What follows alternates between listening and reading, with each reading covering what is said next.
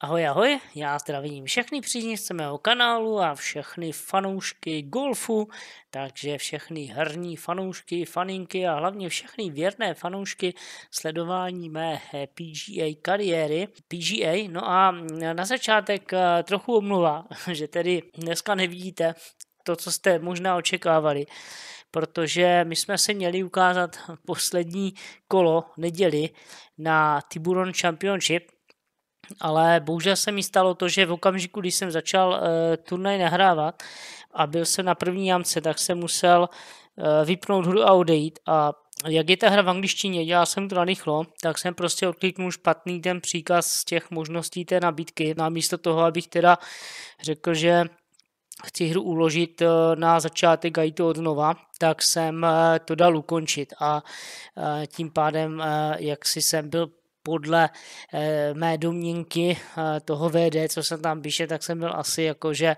eh, z turnaje odstoupen. Prostě nevím. Každopádně víte, že my jsme tam už šanci na nějaké dobré umístění stejně neměli a vzhledem k tomu, že já úplně nevím, kde se na Steamu ukládají nějaké savey, možná, že ani u PGA žádné nejsou, mm, prostě nevím, jak to funguje, v počítači určitě se mi žádné uh, savey neukládají, tak už jsem nebyl schopen ani znovu tu neděli uh, rozběhnout, tak hold tenhle ten turnaj skončil tak, jak skončil, to znamená posledním videem ze soboty.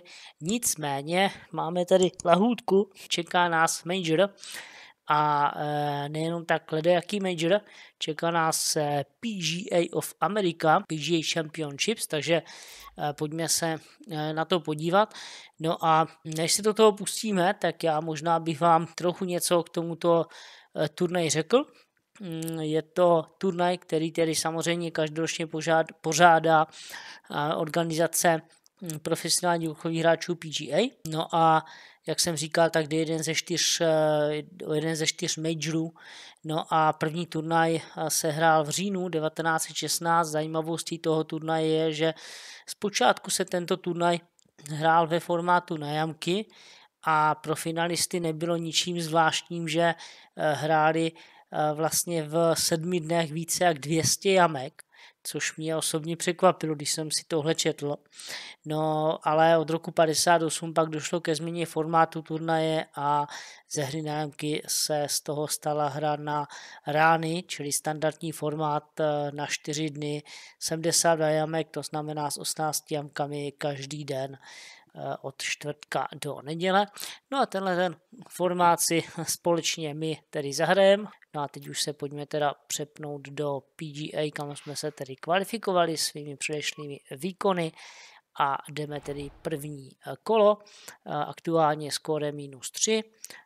Dokonce, jestli jsem dobře viděl, jejej, teď se mi trochu zbláznil ovladač, Mm, ano, dokonce aktuálně jsme na první pozici, přátelé, a začínáme na 14. jamce. Takže začátek turnaje vypadá pozitivně, doufám, že to moc nepokazím.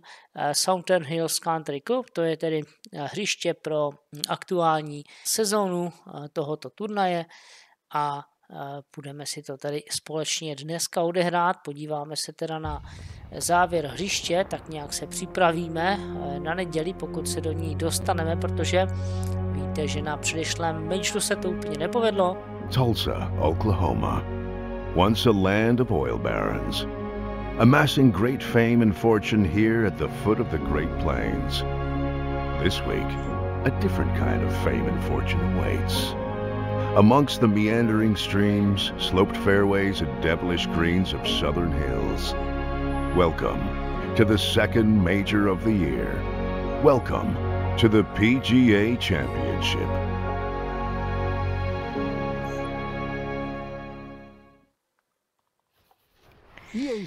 Tak, krásný úvod do tohoto majoru. No a, a tam jste viděli ten rok, takže a, nekecal jsem, sedí to. No a jenom jsem chtěl říct, že minule na Masters se nám to úplně nepovedlo, tam jsme katem neprošli. A tady začínáme hodně pozitivně, kolega ty první jamky, těch prvních 13 jamek zašel ve skvělé formě a vlastně předává nám naši štafetu na prvním místě s nádherným skóre, tak já doufám, že to moc nepokazím. Tady už mám svého kedíka už eh, se roz, rozšvihují a rozcvičují. No a začínáme z ostra, začínáme na, na tří parů, 218 jardů, takže celkem krátký třípar. Budeme mít eh, podporu větru, míčku, No a je to třípar, kde se samozřejmě většina hráčů pokouší o hole in one. Eh, samozřejmě takovou ambici já nemám, ale eh, pokud by se třeba podařilo birdie, tak pro mě by to bylo takové hole in one. To netvrdím, že ne. Nicméně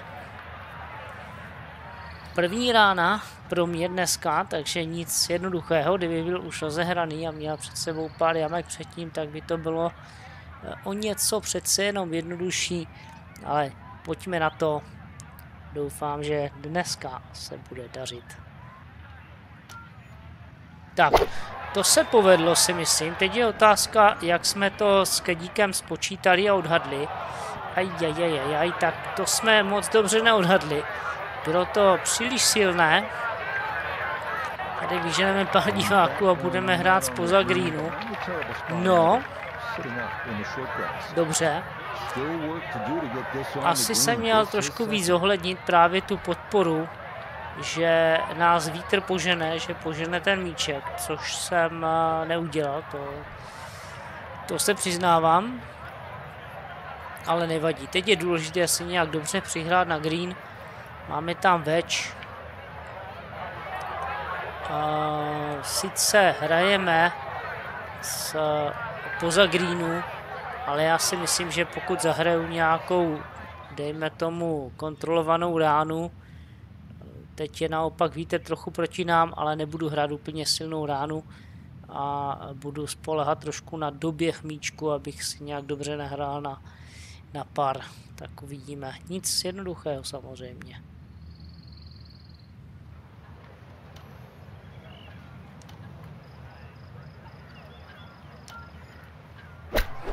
Tak co, no to vypadá to dobře, já si myslím, že tohle eh, dopadne,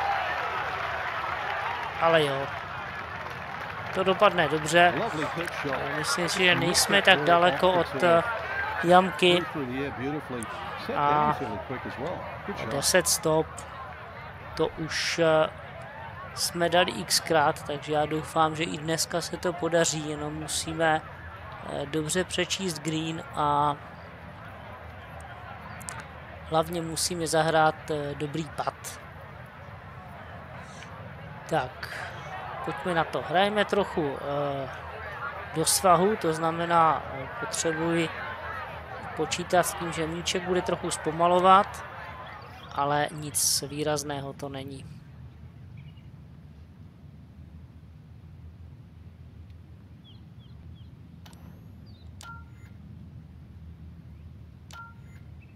co? Hej, tak. Je, je, je. Tak to jsem úplně dobře nepřečet. A začínáme opět bogy, no.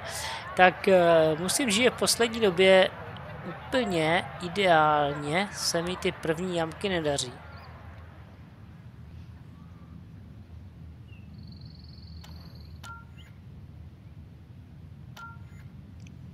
A kazím to hnedka od začátku, no. ale je to třípár, no. Hold. Krátký třípár to je pro mě něco co je hodně obtížné. Doufejme, že teď bude mít nějakou lepší jamku. Máme tady čtyřpár. Doufám, že umažu tohleto bogy a že to ještě trochu nějak vylepším. Hlavní je eh, to nějak vyloženě nepokazit, protože opravdu kolega mi to předával ve velmi dobré pozici. Samozřejmě ta, ta smečka za mnou těch eh, dobrých hráčů mi nedá nic zadarmo. Vidíte, že aktuálně už máme dělené první místo. No a co tady teda?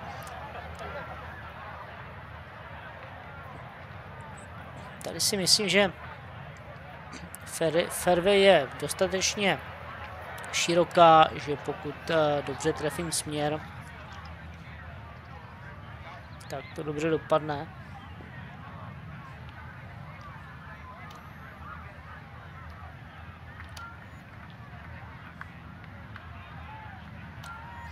Jo, já jsem z ránu spokojený. Uvidíme, jestli to potvrdí i eh, dráha míčku, ale ano, ano. Je to dobré, takže tady se dostaneme dokonce ještě přes tu vlnu. Sice nás to trochu vyveze do uh, vyšší trávy, ale dobře, to není úplně tak velký problém.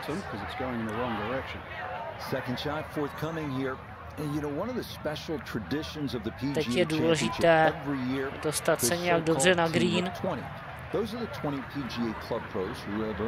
Máme tam sice fitness, no já osobně já si dám approach. A zase, zase je tam ta podpora, že ten vítr požene ten náš míček. Já opravdu budu asi hrát spíše slabší rány. Já se ještě podívám zpátky na ten finance. No, možná ho nechám, protože on je kalkulovaný s tím, že by nám míček eh, měl ještě běžet, že bychom se měli dostat někam směrem k vajce. Nicméně, trochu to takhle ještě posunu. A budu hrát ránu, pokud se mi podaří, někde na začátku toho bílého pole.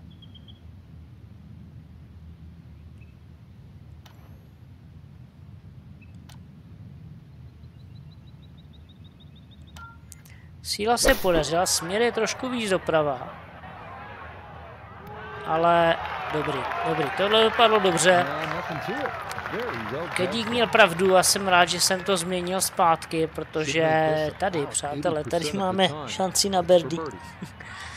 Sedm stop, to už jsme dlouho neměli takovouhle šanci.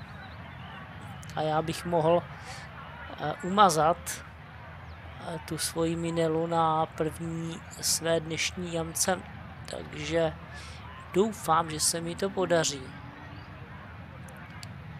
Není to nějak složitý pad. Pokud ho vyložně nepokazím, tak by to mělo být birdie.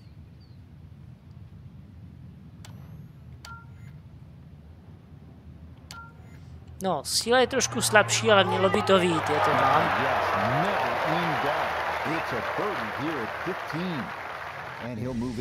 Tak, teď jsem si odechl trochu, protože samozřejmě nerad bych to úplně pokazil. A tím, že jsem umazal to bugy, tak uh, jsme uh, na tom, na čem jsme začínali a máme tady příjemný bonus, máme tu pěkný pár, takže můžeme se pokusit uh, o další birdie. Samozřejmě je to znát, že je to turnaj, který patří mezi ty majory, není to úplně jednoduché tady hrát, jsou to složitější hřiště, by to třeba vizuálně úplně nevypadá, ale eh, ten terén i na těch fairwayích je trochu jiný, nejsou to takové ty rovné fairwaye, takže není to úplně eh, jednoduché, jak by se mohlo zdát. No, tady je to taky trochu složitější, protože pokud to člověk eh, zahraje špatně, tak tady skončí samozřejmě tam, kde skončit nechce. A to byl ten bunker s takovým nějakým jedným pískem, což úplně nevím, co znamená. No ale pojďme na to.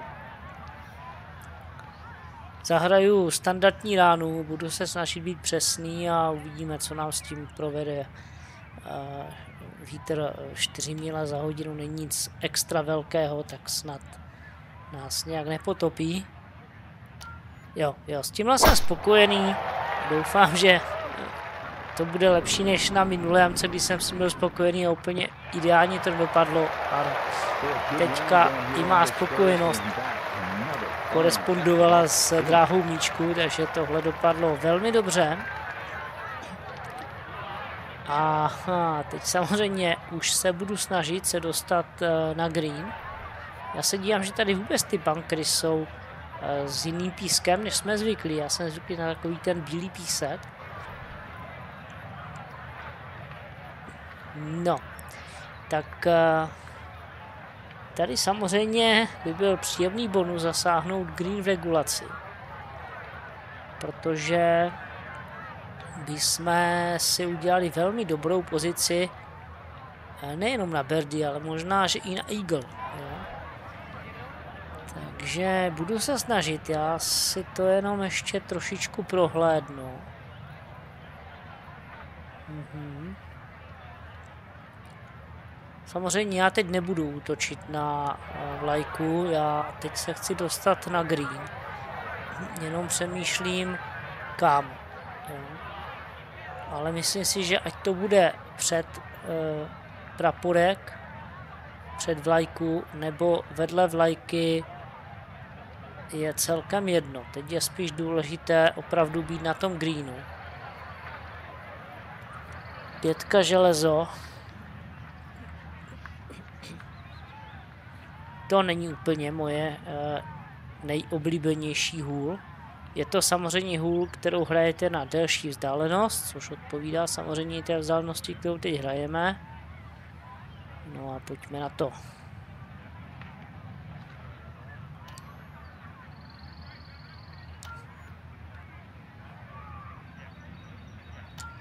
Jo, s ránou jsem spokojený.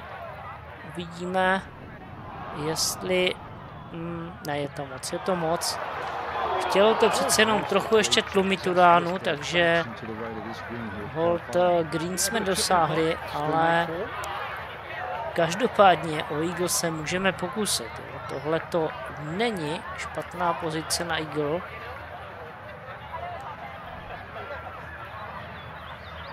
A je to takový pokus zadarmo, pokud nevíde, tak eh, bychom každopádně měli přípravu na Berdy.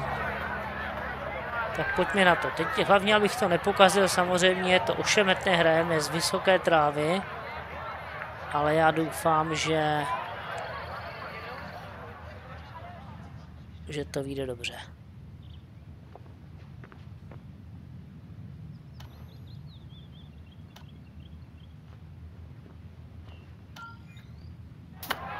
Jde to moc doprava. E, no. Ale tak. Byl to pokus, jak říkám, pokus zadarmo. Nebylo to úplně daleko. E, no, nicméně Berdy samozřejmě ještě bude trochu dřina, 12 stop. Není úplně málo, ale předtím jsme měli 10 a taky jsme to dali, takže pojďme se o to pokusit. Já se ještě podívám. A je to téměř v rovině. Trošku hrajeme do svahu, ale fakt jenom minimálně, takže já to dám takhle. A teďka hlavně eh, dobře trefit eh, nejenom tempo, ale směr. Tempo tady nebude až tak eh, problém, ale směr.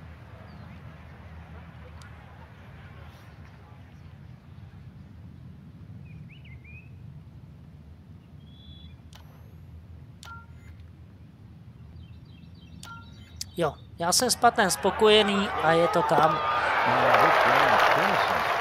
Tak, máme druhé birdie v řadě, takže eh, v tomhle okamžiku já jsem spokojený.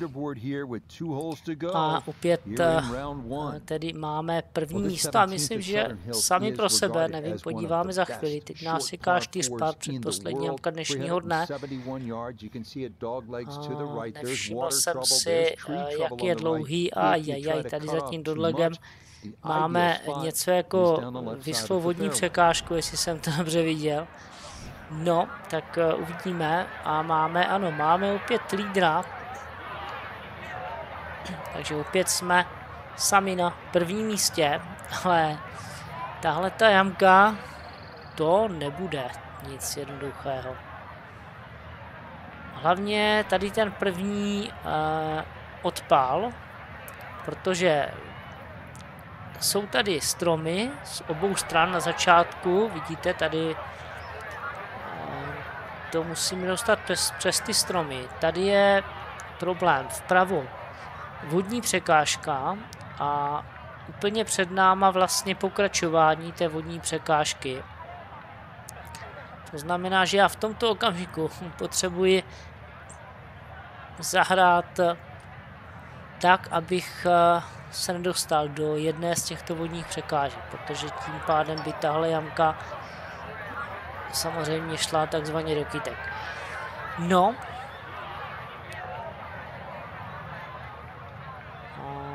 Co teď hrát? Z hlediska směřování větru 6 mil, to není úplně problém. Spíš uh, teď mi jde o to, jak silnou ránu zahrát. Já radši budu hrát standardní ránu. Budu ji trošku tlumit, nebudu hrát úplně silně, budu hrát někde na začátek toho bílého pole protože tam mám opravdu obavu z toho, co je tam vepředu. No. A doufám, že odhad je správný. Ale raději kratší ránu, než to přehnat a skončit v té vodní překážce.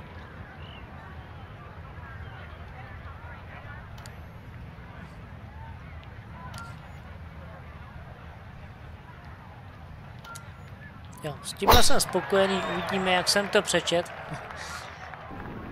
A Míček ukáže, ano, ano, tohle je dobré, tohle je dobré.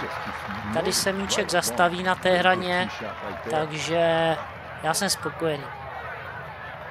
Takhle nějak bych si to představoval. A teďka další velmi těžký úder, velmi těžký, hlavně ve smyslu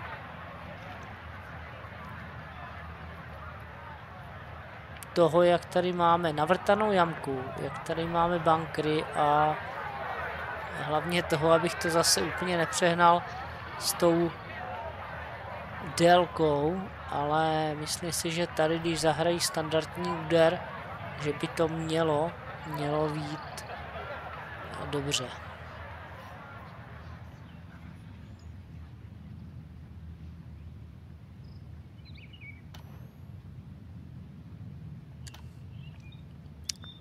No.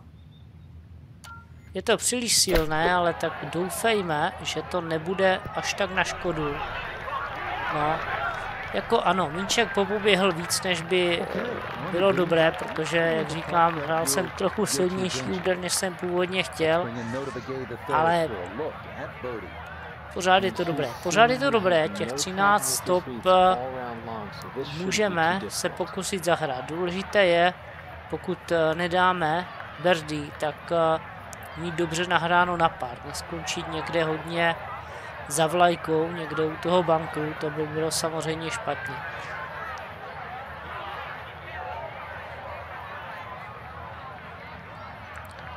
Teď je potřeba si na to hodně dobře uh, soustředit, dobře si načíst green, uh, dobře odhadnout dráhu toho míčku na těch 13 stop, hrajeme mírně ze svahu, TMK je mírně pod náma, to znamená, že jakákoliv eh, vyšší rychlost bude měnit směr toho míčku. Takže potřeboval bych být přesný v tempu.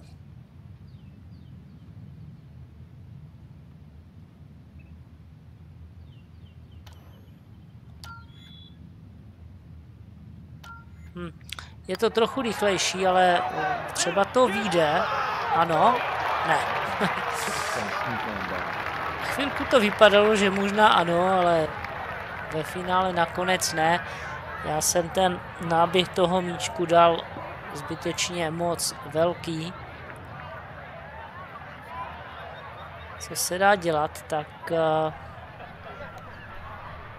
teď hlavně ty čtyři stopy, to úplně jakože na doklepnutí není jednoduška, jo, to ještě se musím na to dobře soustředit, aby jsme měli ten pár, abych neumazal toho berdíka.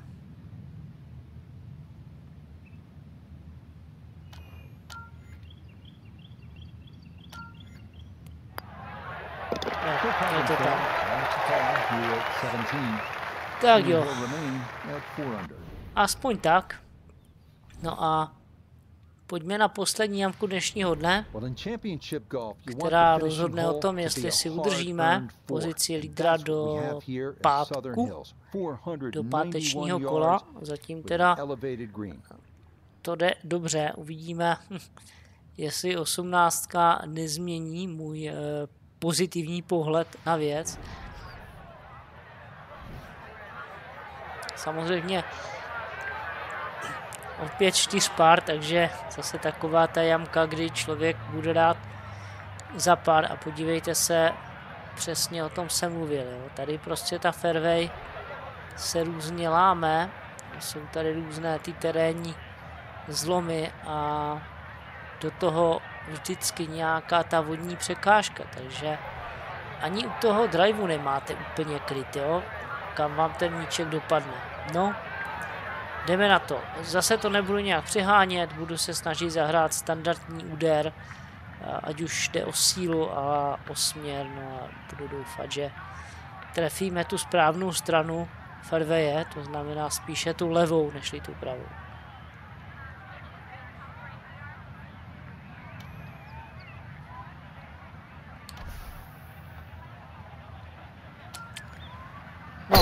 Je to trošičku silnější, než bych chtěl, ale směr je dobrý, tak uvidíme.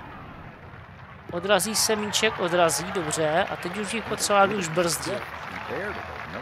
Tak to dopadlo líp, než uh, podle toho úderu vypadalo. To, tady jsme měli trošku štěstí, to přiznávám, ale i to někdy patří ke hře. někdy to štěstí musíte mít, no. Nicméně tady bychom to štěstí potřebovali taky. 7 mil za hodinu. Osmička železo, approach. Když to hodně utáhnu a bude to krátké, tak skončíme v bankru. Když to přeženu, tak skončíme taky v bankru. jo, tady prostě nemáme na výběr. No. Tohle to není vůbec jednoduché. Samozřejmě druhá rána čtyřpar, takže není to úplně nic uh, dramatického, ale dá se tím pokazit to, že si zaděláte vlastně na bogy. Takže no, nic jednoduchého, přátelé. Tohle to budu hrát spíše trochu slabší ránu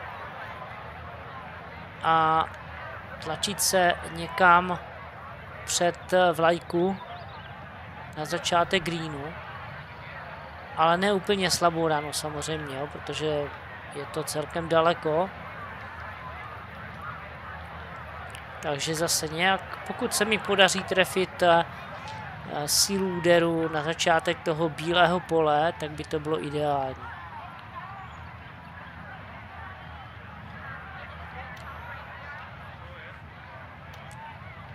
Hm, je to slabší.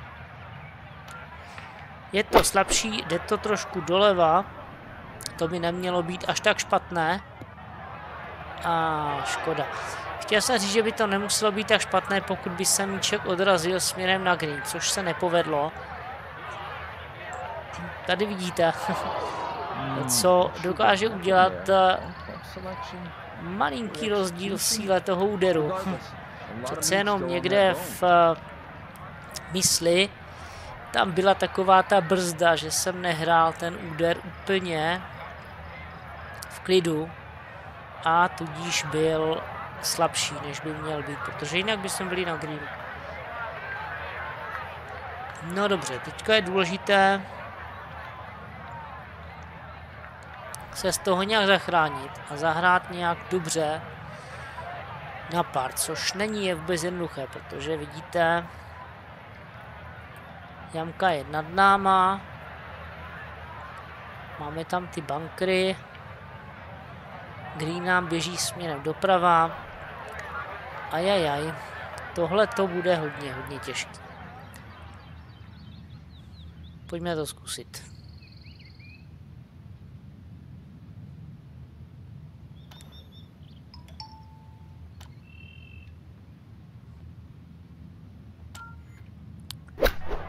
Tak co?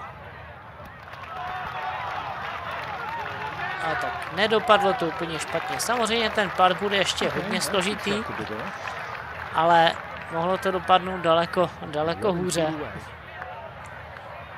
No, nakonec nejsme tak daleko. 10 stop, to dopadlo za mě moc dobře. Po tom prvotním dopadu jsem si myslel, že jsme tak kolem 20 stop od jamky. Takže tohle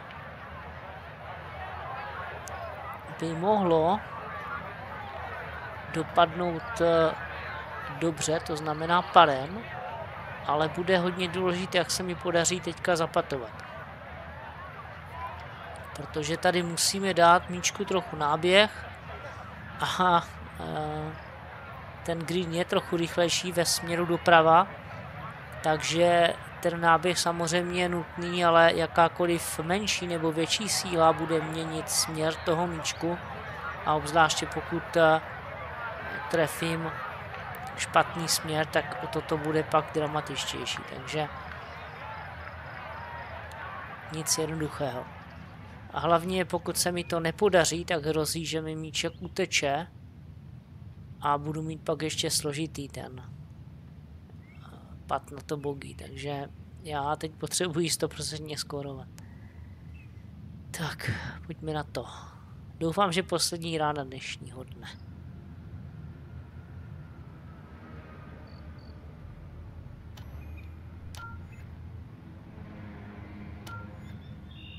Jo, ten pad vypadá dobře, teď je otázka... Jo, je to tak. Tak. Musím říct, že tohle byl nejtěžší pad dnešního dne, teda pro mě. Ale dobře to dopadlo. A byť teda máme dělané první místo, tak pořád je to krásné umístění, naprosto neuvěřitelné. Nečekal bych, že na Majoru se nám takhle zadaří. Ale samozřejmě je to první kolo, je to první den. A já si myslím, že ti dravci Eh, za náma se teprve rozehrávají a dali nám trochu náskok a zítra to teprve bude eh, hodně, hodně zajímavé, takže tímto samozřejmě vás zvu k eh, dalšímu kolu za týden, kdy teda bude pátek. Kat by nám samozřejmě utéct neměl, to bych to musel nějakým způsobem hodně, hodně pokazit, aby nebyl kat. Ale jde spíš o to, nějakým způsobem si pozici udržet, protože přece jenom, co si budeme povídat, jít do soboty na majoru v rámci top 10, tak to by bylo úplně naprosto nádherné a úžasné. Tak uvidíme, jestli se nám to podaří. Jak to nakonec všechno dopadne, uvidíte v příštím videu. Já děkuji všem věrným sledovatelům mé kariéry PGA, že jste opět tady byli, že jste se podívali, děkuji vám za vaše lajky, případné komentáře. No a budu se těšit eh, příště v pátek tady na Majoru PGA of America. Ahoj.